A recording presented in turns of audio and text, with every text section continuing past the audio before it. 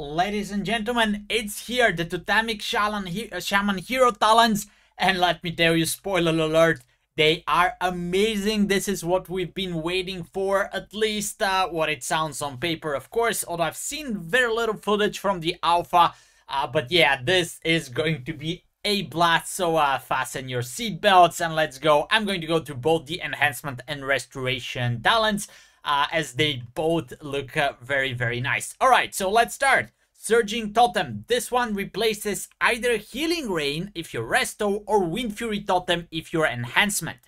Now, uh, let's start with the Restoration. It replaces Healing Rain. It's a 20 second cooldown and it lasts for 20 seconds. And pay attention, instant cast. Like, this is a win, boys. This is a huge win because uh, first, it's gonna last longer. Second, you're not gonna waste time to cast it. And it summons a totem at your feet that immediately and then every 5 seconds casts Healing Rain within 30 yards where allies are present, healing for 30% more than a normal Healing Rain. So this is basically a Healing Rain on steroids and it's instacast and it's gonna keep casting and revocating your healing rain if it needs to. Now the only concern here is um, it seems that it's going to target a bunch of people, like if people are clustered, it's gonna target them. Uh, maybe for raid it's a little bit questionable because if your range is stacked and then it's not hitting the boss or like we don't know exactly how that's going to work. That actually needs to work really get great for uh, this talent to be viable. But it, it it's amazing, right? Uh, it's empowered healing rain. It's gonna auto cast it, and every 20 seconds you just have to press the button and it's there. Like this sounds so cool that I like. I'm so excited. Like I have no uh like I'm so impatient to just go and try this out. Sounds sounds like a blast.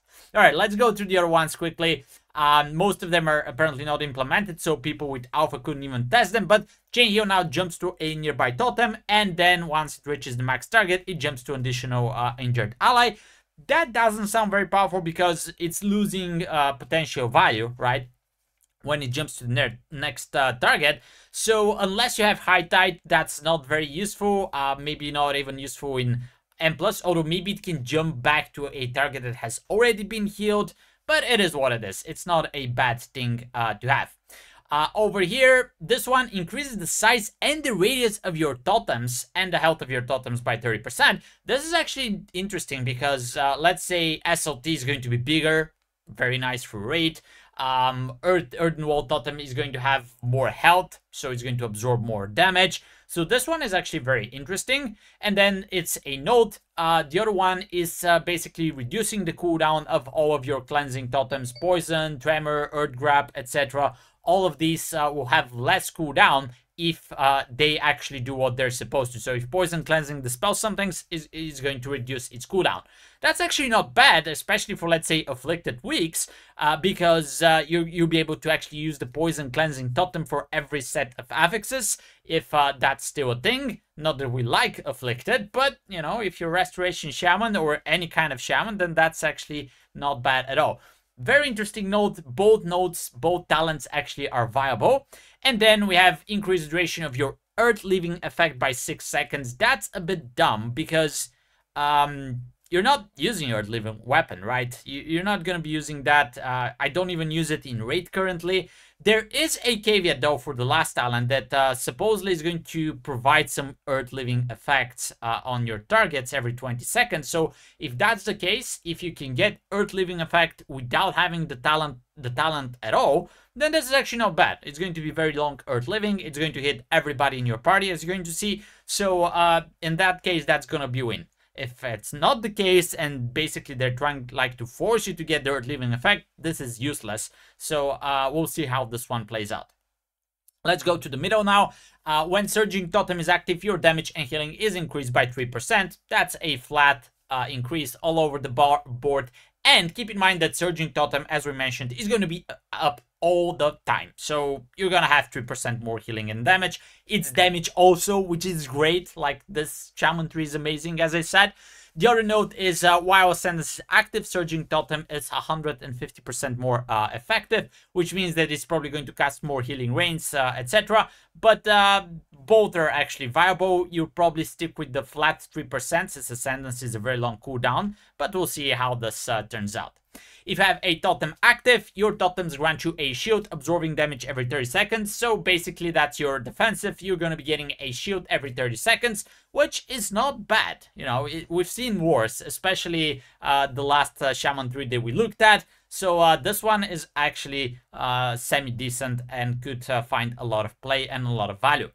Then we have another node, increases the damage and healing of Surging Totem by 25%, which is great because, as we said, it's up all the time. And for Restoration, you can imbue your shield. This is a shield imbue that increases your healing by 2% and increases the duration of the Healing Stream Totem and Cloudburst by 3 seconds.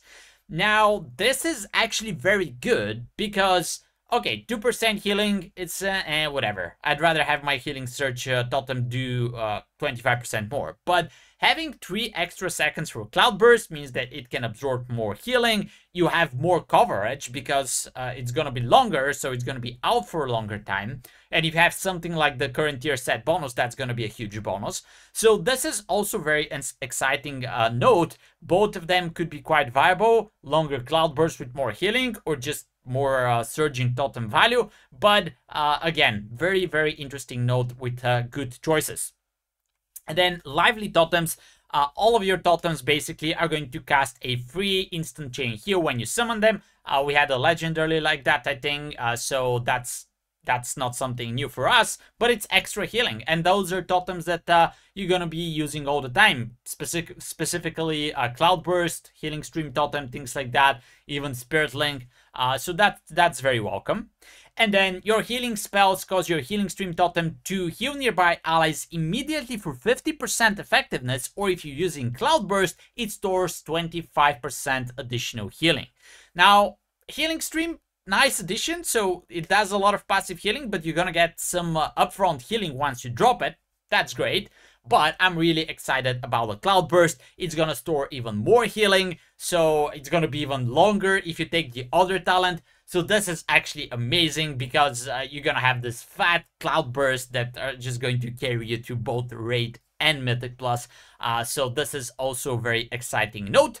And then uh, we have this one, Chain Heal from your totems are 30% more effective. You're going to be getting that quite often with the Cloudburst or Healing Stream totem, so that's not a bad talent.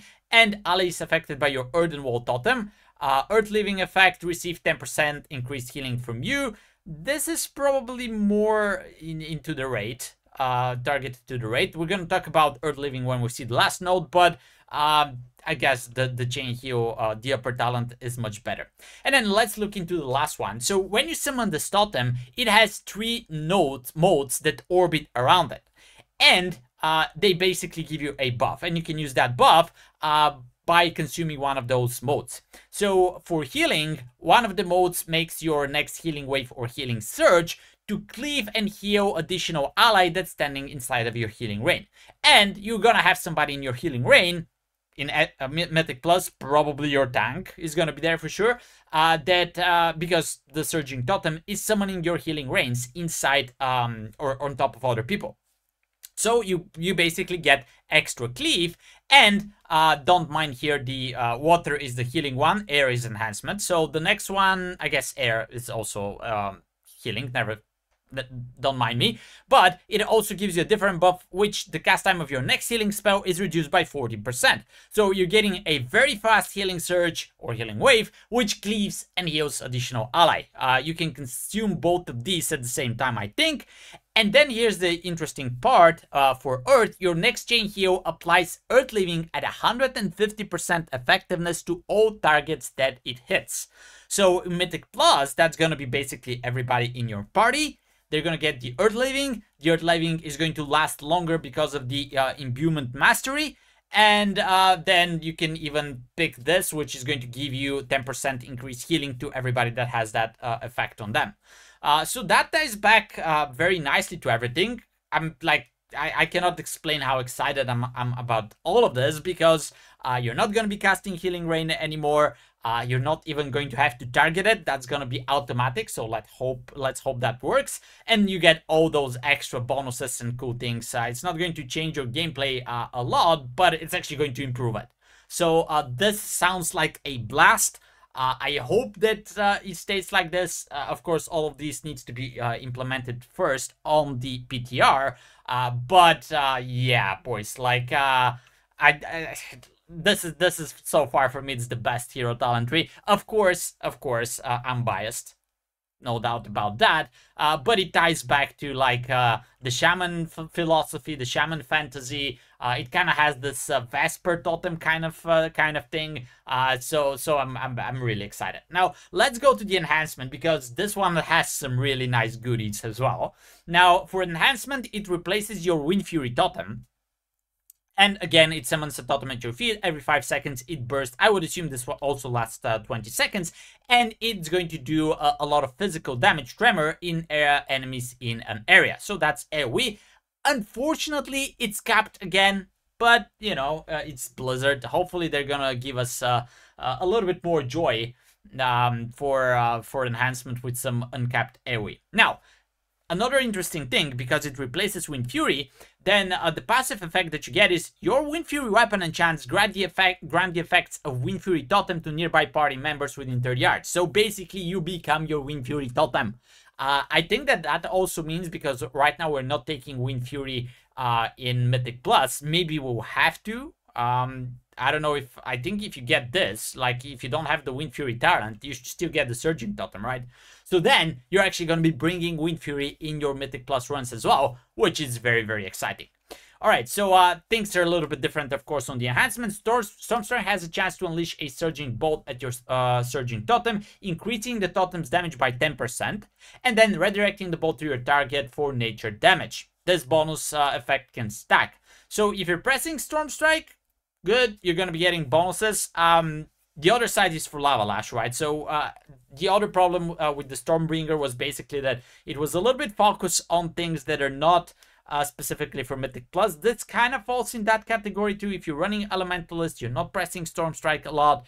Uh, but I guess it's going to be a, a good bonus, a good damage, uh, if uh, you happen to press it on single, single target and you get a little bit of extra damage.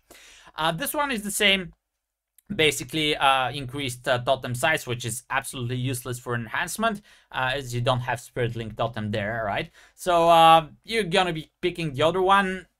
The bad part here is, okay, you always have Cap Totem, right? So the Cap Totem, you're gonna be able to use it much more often, but unless it's like Afflicted Week or something, you're not even running the other totems, so yeah, I mean, that's a problem with that note. But uh, we'll take it. It is what it is. Uh, and then increases the chance of Wind Fury weapon to trigger by 10% and increases its damage by 15%. This is gonna be huge for the Storm build, uh, which heavily relies on Storm Strike and Wind Fury, right? Uh, but obviously you won't be able to run all the talents at the same time. If you're not pressing Storm Strike, then, you know, uh, I guess it's gonna be a nice passive damage increase to your Wind Fury weapon because you're running that in the Elementalist build as well. Uh, so extra damage is extra damage. Uh, it's always welcome.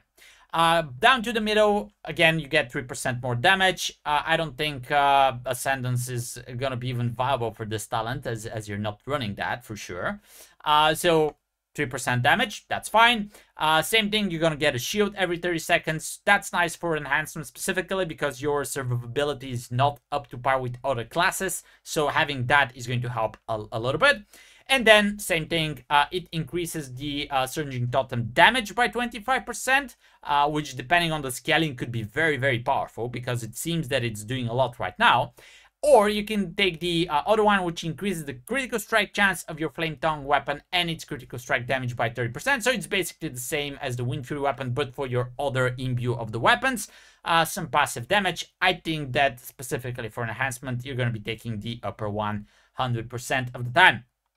Let's look into the right side. Lavalash has a chance to summon a Searing Totem to attack a nearby enemy for 8 seconds. We don't know how much damage is going to be doing and how uh, often is going to be proccing, but it's extra damage and you're pressing Lavalash all the time, basically, so that's quite welcome.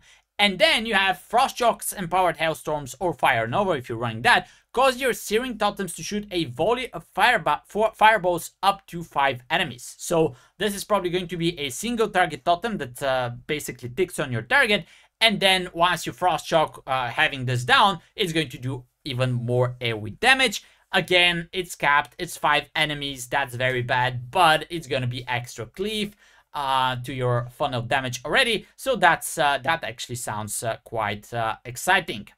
And then this one increases the critical strike damage of the Searing Totem attacks by 50% and the critical strike damage by 30%.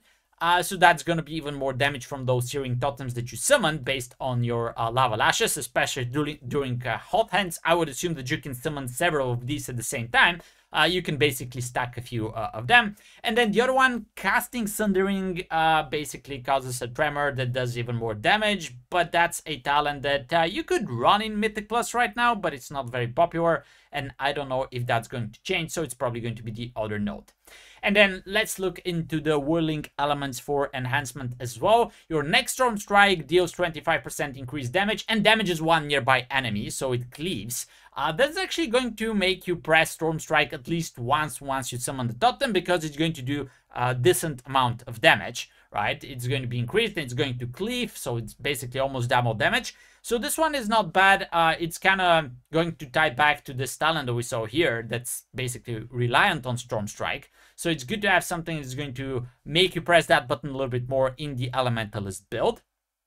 Then we have Casting Sundering or Elemental Blast refunds 12 seconds from its cooldown. So that means that once you summon the totem, um, you get Ele Blast, uh, you cast Ele Blast, and you get the cooldown refunded back.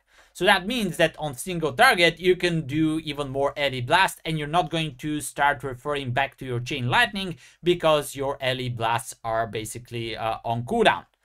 Um, so that's interesting. I mean, uh, we'll see how it turns out. It's good for single target for sure, but for um for cleave, you're not pressing Ele Blast in huge AoE situations at all. Uh, so you know that's that's kind of too edge. Like uh, I can see a situation where you drop this totem and this mote is never consumed because you never press Ele Blast.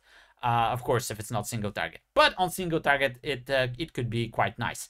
A little bit like I, I would like to see this change to uh, something a little bit more impactful uh, as it, it is on the Resto tree, because this one, as I said, it's kind of dubious. It's not clear how, how good it's going to be. But then the Fire one increases the critical strike chance of your next Fire Nova or Lava Lash, which is what you're going to use to consume it, by 50%, and the critical strike damage by 30%. So that's going to be even more damage from your Lava Lashes very very excited again uh the resto seems a little bit better than the totemic but um honestly i would like to probably play this uh apart from uh, instead of the stormbringer for enhancement as well and uh, I really wish I had alpha right now to test this out because it sounds like a blast, boys. Let me know what you think in the comments below. Do you like it? Are you excited about the Totemic Shaman? I was really scared that this is going to be a bad, bad Hero tree and basically we wouldn't have anything good for enhancement Shamans, but luckily that's not the case. So hopefully soon we get to test this during beta and uh, I'll provide more content as soon as that happens. But in the meantime, let me know how do you guys feel about this. Thank you very much for watching. I'll see you in the next video. Now get out of here.